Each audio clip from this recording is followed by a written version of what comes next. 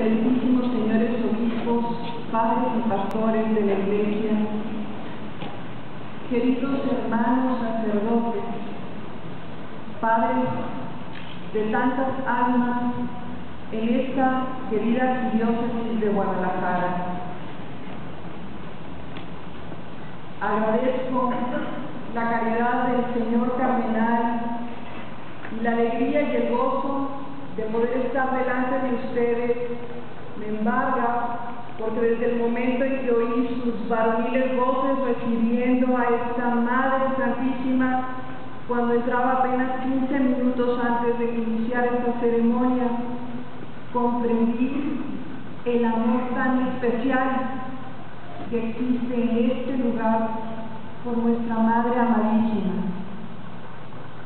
El Señor Cardenal ha permitido a la misión por el amor de Dios en todo el mundo invitar en esta arquidiócesis de Guadalajara a aquellos sacerdotes que quieran en cada una de sus parroquias trabajar duramente por esta consagración al Inmaculado Corazón de María y al Sagrado Corazón de Jesús.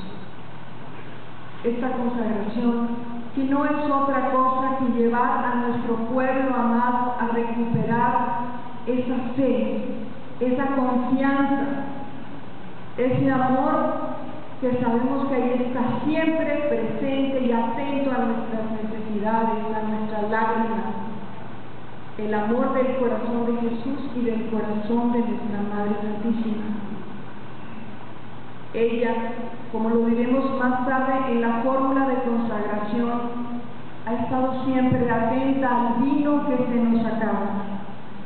Muchos de nosotros nos sentimos tristes, fatigados, a veces desanimados, pero este buen vino que nuestra Madre nos reserva su tierno corazón, este corazón de Madre que tiene para cada una de nosotros, para cada uno de nosotros, está listo.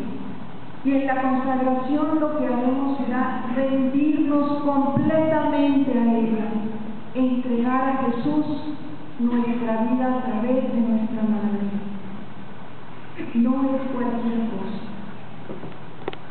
Es un compromiso serio, es una alianza que se renueva.